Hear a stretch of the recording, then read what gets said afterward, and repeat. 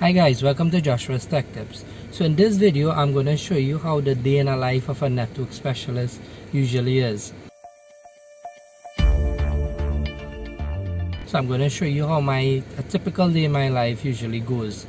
So I'm leaving to go to work now. I work from 7 a.m. to 3 p.m. usually, right? Um, now because of the whole COVID situation, um, traffic is not that bad. It's great actually. I don't have any kind of traffic from where I live to where I go to work right? Um, normally under normal conditions I take approximately an hour and a half to get to work right? Because of the whole pandemic situation it takes me like 30 to 40 minutes to get to work.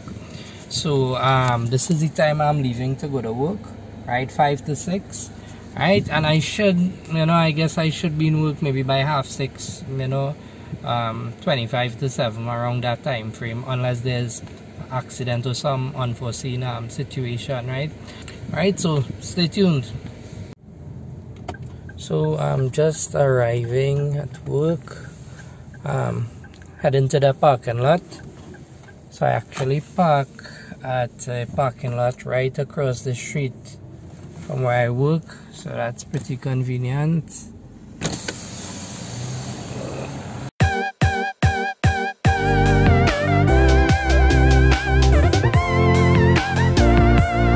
So commute was pretty good today actually. Um, it's now 6.23 a.m.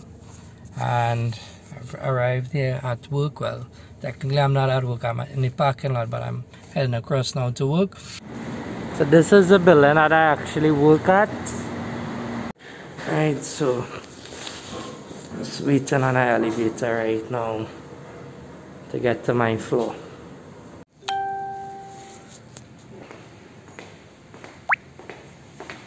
So the office is pretty quiet right now. I'm usually one of the first people to be in because I work from 7 a.m. to 3 p.m. and this is my desk. So this is where the magic happens. Just kidding.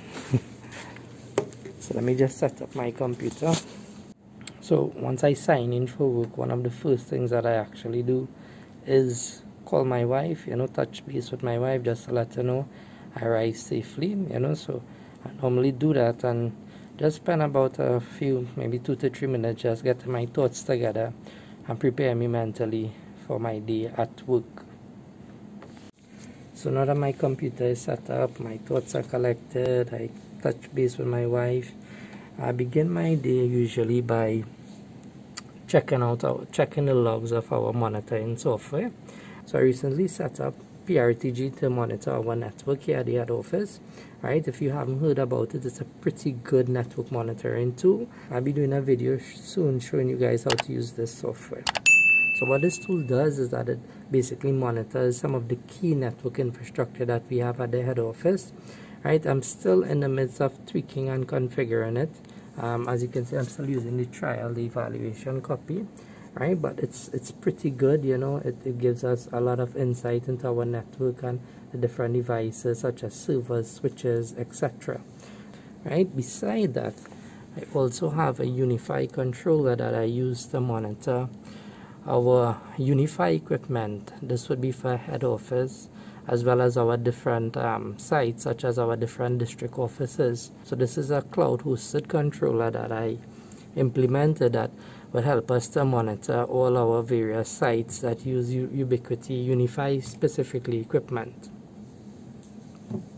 So after viewing our monitoring system, I still like to do a physical inspection of our network and server infrastructure just to make sure there are no abnormalities. So I'm actually in our server room right now. Right, so this is our on-prem equipment. We also use Microsoft Azure for a lot of our services. So I'll just take a walk through and ensure that everything is looking kosher. Next, I would normally go through my email and respond to anything outstanding. I'll also use my email to build a to-do list of the things that I need to accomplish during the course of today.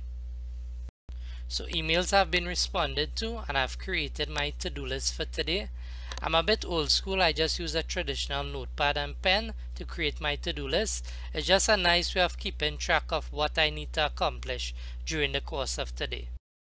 So I just noticed an alarm on our VxRail hyperconvert system. It's saying that uh, we are unable to connect to the e-service server.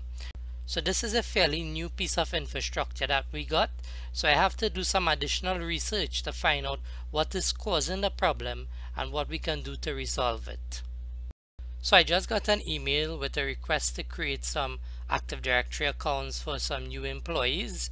So I'm just gonna head over to Active Directory users and computers and create these accounts. So after much research, I was unable to find a resolution for our VMware situation. So I decided to reach out to our vendor since we have a support contract with them so this is an email which I documented all of my findings. This should aid them to find a resolution for the problem that we are facing. So some of our employees were experiencing printing issues. So upon checking a print server, I noticed that there were some large documents that were stuck in the print queue. So I cleared the print queue and I think all should now be well and users should be able to print once more to this printer. Alright guys, so it's about that time, lunch time. So that's gonna hot up my lunch there. So after having a good lunch, I'm now working on virtualizing one of our servers. Earlier in the day, our print server went down and this was due to a faulty memory module. Right, so what we're to do, uh, my director gave us permission to virtualize this old and failing print server to our new VxRail solution right so that's what I'm going to do now so to do that I have to run this um, standalone converter application so this application is actually on our print server and this would be taking us through the process of virtualizing the server and sending it to our VxRail manager. In an up and coming video, I'll be showing you how this is done. So if that's something you'd like to see, be sure to subscribe to my YouTube channel. And this is our VxRail manager where our virtualized server will now be stored. So I'm actually working a little late today guys. It's 90 minutes past 3. I usually get off at 3 p.m. However, I've decided to stick around till the virtualization process has been completed. It's now at 98% so it be, should be completed shortly. So the virtualization was completed successfully and after reviewing my to-do list I could see that I completed all the tasks that I set out to do today. So all in all I would say today was a very productive day. Alright guys so I've just finished work. I'm in the parking lot right now about to leave to go home. So this is what a typical day at my job normally comprises of. So although I say typical the IT field is so dynamic that um, from day to day we may encounter new problems. Um, we may have unforeseen things that we didn't cater for that we will need to find resolution to. And a lot of the times also beside head office, I'm at different locations, our district offices and sub-sites that I might have to deploy a wireless solution, you know, such as Wi-Fi access points. Also last week I, I was actually at one of our locations um, implementing a PBX system you know but um, for the most part when I'm at head office yeah, this is what my typical day would look like. So if you work in the IT field drop a comment. Let me know what your typical day looks like. That brings us to the end of this video guys. Remember if you like the content I'm creating be sure to subscribe to my YouTube channel. Also click on the notification bell to be notified once a new video is released. Thanks again for viewing. See you soon